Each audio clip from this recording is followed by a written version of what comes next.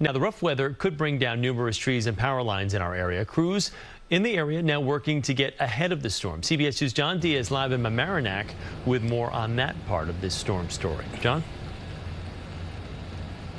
Yeah, well, Chris, good afternoon to you. And this is a storm that Con Edison knows could be a dangerous one, but they also know this is a storm that could lead many people without a power. And that is why they called in extra reinforcements today. Uh, about a thousand people from actually out of state, just in case some people do lose power. But let's give you a live look right here behind me. Crews out here. Uh, they just had the ladder up, cutting down uh, some trees over here in Mamaroneck. And there's a lot of people, um, energy provider, they dispatched their in-house emergency crews across Westchester County ahead of this storm. If you take a look at this video, though, you can paint a better picture. You can see them cutting down these branches of trees near power lines, including right here in Mamaroneck, where we saw this team cutting down parts of a massive tree by the corner of Palmer and Delancey Avenues, right in front of some residential homes. Now, arborists with the Con, Ed with Con Edison uh, tell us that trimming dead, diseased, or dying trees reduces the chances that limbs will fall on overhead wires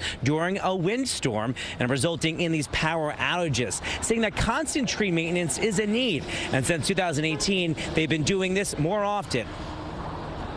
With the climate change and the intensity of the storms going on now that, you know, we're being proactive and ahead of time removing these hazards before they fall and damage the power lines. Now it's freezing cold, they're not losing power, so we're, we're doing the best that we can to prevent these things from happening.